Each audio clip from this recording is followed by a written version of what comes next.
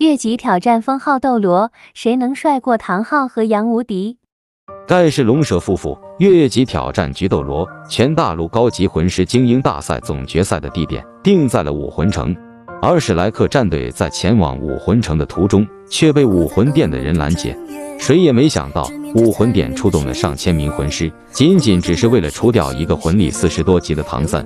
就连武魂殿的菊斗罗都不顾自己封号斗罗的身份，亲自对唐三出手。堂堂封号斗罗，居然对几个孩子出手，就连盖世龙蛇夫妇都看不下去了。虽说他们二人只是魂帝和魂斗罗组合，但他们还是想和菊斗罗较量一番。初次对战九十五级封号斗罗，二人毫不犹豫就使出了他们的龙蛇合击。这个武魂融合技是他们夫妻二人的最强手段，也是他们的成名绝技。而武魂殿的菊斗罗，由于他轻视了盖世龙蛇夫妇的绝技，反而令他吃了亏。见到对方如此难缠，菊斗罗也是失去了耐心。经过几番纠缠之后，菊斗罗劫持了他们的孙女，以他们孙女为人质，迫使他们离去。八十二级魂斗罗杨无敌越级挑战封号斗罗。天斗帝国皇室宫殿，唐三带着杨无敌和毒斗罗对战武魂殿两位封号斗罗和千仞雪等人。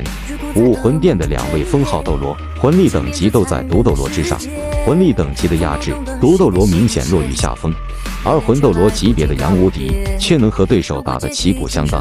武魂殿的蛇矛斗罗魂力比杨无敌高出十级。